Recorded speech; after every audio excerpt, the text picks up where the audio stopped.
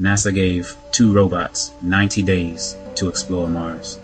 They stayed for over a decade and changed everything. Meet Spirit and Opportunity. Launched in 2003, Spirit and Opportunity landed on Mars in 2004, tasked with finding ancient water and surviving the impossible. These twin explorers defied every expectation, uncovering Mars' secrets. Spirit found rocks changed by acidic water, evidence of ancient hydrothermal systems.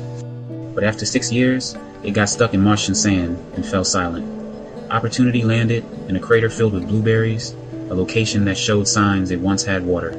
It roamed 45 kilometers, exploring a new world for nearly 15 years. A massive dust storm finally silenced Opportunity. Its last message My battery is low, and it's getting dark. These rovers didn't just map rocks, they mapped our curiosity, inspiring a new era of exploration. Two robots, one journey. Mars was changed forever. Stay curious and keep looking up.